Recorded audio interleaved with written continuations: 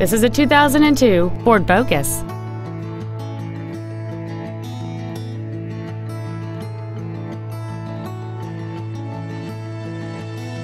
Features include a multi-link rear suspension, air conditioning, cruise control, a CD player, four-wheel independent suspension, an engine immobilizer theft deterrent system, 12-volt power outlets, a passenger side airbag, full power accessories, and aluminum wheels.